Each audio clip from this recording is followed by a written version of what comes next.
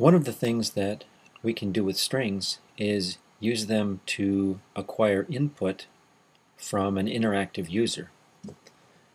What we mean by that is that strings enable us to have the user enter data and then we can use that data to process in our programs.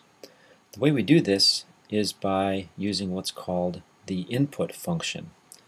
The input function has a single parameter which is the prompt that will be displayed.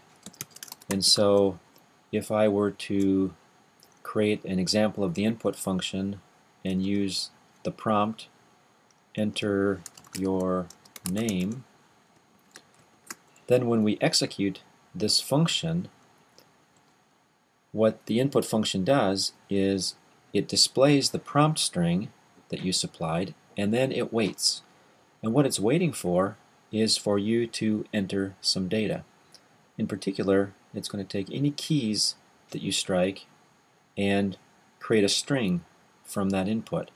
So if I were to type in D-A-V-I-D and then return, notice that the value that is displayed is the string David. And the reason this is displayed is because that is the result or the return from that input function.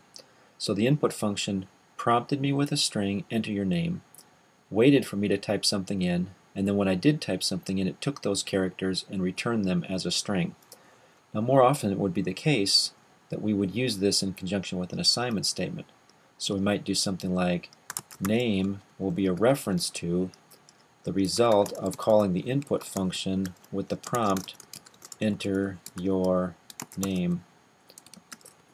Now when I execute this assignment statement the right hand side is evaluated which invokes the input function which displays the prompt. Now it's waiting for me to type something in. If I type in Fred and hit return, then nothing happens. Well, something did happen. The assignment statement completed its work. And so the value now that name refers to is the object that was returned from the input function and in this case since I entered Fred name now is a reference to the string Fred. We can do the same thing with numeric data. So I could say age is a reference to input and then I could give a prompt enter your age and again the prompt would show up I would type it in and hit return and the prompt comes back because the assignment statement completed but now if I look at age it's now a reference to the value that was entered. But now we have to be careful because remember that data entered from the keyboard is going to be in character form and the result is going to be a string, a sequence of characters. And so notice that age in this case is actually the string 45. It's not the number or the integer 45. And we can see that if we ask what is the type of the value referred to by age and we see that in fact it is a str. It is a string. So here's a place where if we know we want to use integer data, we can use our conversion functions.